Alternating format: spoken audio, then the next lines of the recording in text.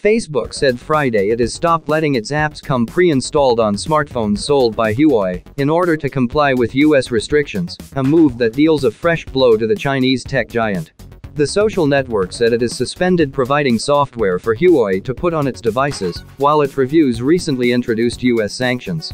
Owners of existing Huawei smartphones that already have Facebook apps can continue to use them and download updates. But it's not clear if buyers of new Huawei devices will be able to install Facebook's apps on their own.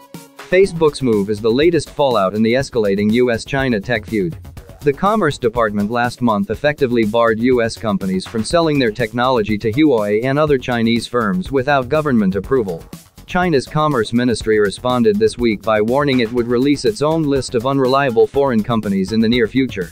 US officials are pressing their global campaign to blacklist Huawei, the world's number one network equipment provider and second largest smartphone maker. They say Beijing could use the company's products for cyber espionage, but without presenting evidence of intentional spying.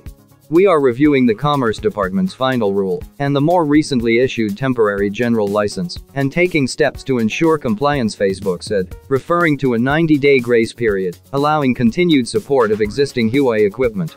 Huawei declined to comment.